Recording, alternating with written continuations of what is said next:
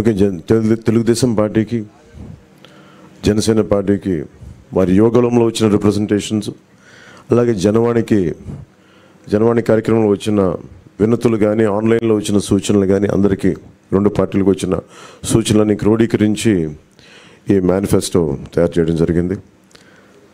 ముఖ్యంగా రాష్ట్ర ప్రజల నేటి అవసరాలను తీరుస్తూ రేపటి ఆకాంక్షలకు సాకారం చేసే ఈ మేనిఫెస్టోని కూటమి ప్రభుత్వం పరిష్టంగా దీన్ని అమలు చేస్తుంది. దీంట్లో ముఖ్యమైన అంశాలు ఏమేమి ఏమేమి తీసుకున్నామంటే ఆంధ్రప్రదేశ్ ప్రజల భవిష్యత్తు ఆల్మోస్ట్ కత్తి మనపైన వేలాడుతూ ఉంది. ప్రపంచంలోనే అత్యంత శక్తివంతమైన తెలుగు జాతి నేడు ఆంధ్రప్రదేశ్ పరిస్థితిని చూసి తలదించుకుంటుంది. లూటీ కోసమే పదమూడు లక్షల కోట్లు అప్పు చేసి రాష్ట్ర ఆర్థిక వ్యవస్థను దివాళా తీయించారు. గత ఐదేళ్ళుగా అన్ని రంగాల్లో రాష్ట్రం తిరోగామి దిశలో పయనిస్తున్నది.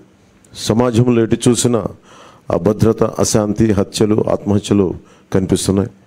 ధరలు పన్నులు ఛార్జీలు అప్పుల బాధుడితో ఒక్కో కుటుంబం పైన దాదాపు ఎనిమిది లక్షల భారం మోపారు.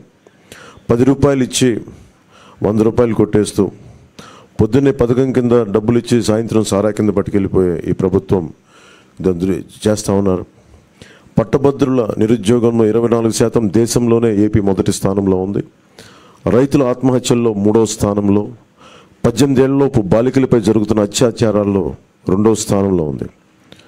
పోలవరం నదుల అనుసంధానాన్ని గోదాట్లో ముంచేశారు. సంపద సృష్టి ఉపాధి కల్పన కేంద్రమైన ప్రజా రాజధాని అమరావతిని విధ్వంసం చేశారు. SC ST BC minority sub plan నిధుల్ని లక్ష కోట్లు దారి మళ్ళించారు. ఇక అన్నా క్యాంటీన్లు కానీ నిరుద్యోగ భృతి కానీ పండగ కానుకలు లాంటి వందకి పైగా తెలుగుదేశం ప్రభుత్వ సంక్షేమ కార్యక్రమాలు రద్దు చేశారు. ముఖ్యంగా గత కొద్ది రోజులుగా నేను మాట్లాడుతాను ల్యాండ్ టైటిలింగ్ యాక్ట్ పేరు మీద.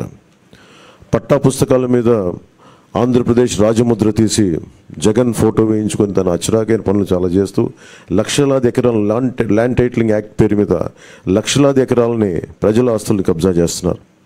ల్యాండ్ శాండ్ వైన్ మైన్ గంజాయి డ్రగ్స్ ఎర్రచందనం రేషన్ బియ్యం మాఫియాలతో దాదాపు ఎనిమిది లక్షల కోట్ల ప్రజాధనాన్ని కొల్లగొట్టారు.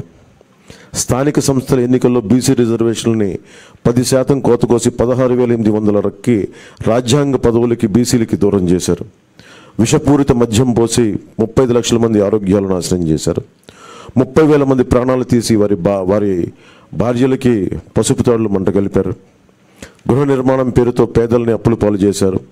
ప్రశ్నించిన ప్రతిపక్షాలు ఎస్సీ ఎస్టీ బీసీ మైనారిటీలని ఆరు వందల మందిని హత్య చేశారు.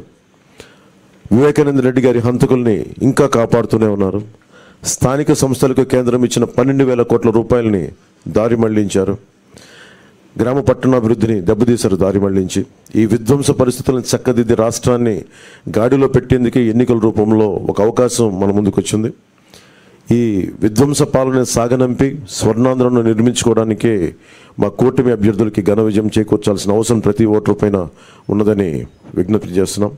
తెలుగుదేశం పార్టీ చేసిన సూపర్ సిక్స్ అలాగే జగ జనసేన ప్రతిపాదించిన షణ్ముఖ వ్యూహం ఈ మూడిటితో కలిపి ముందుగా మేము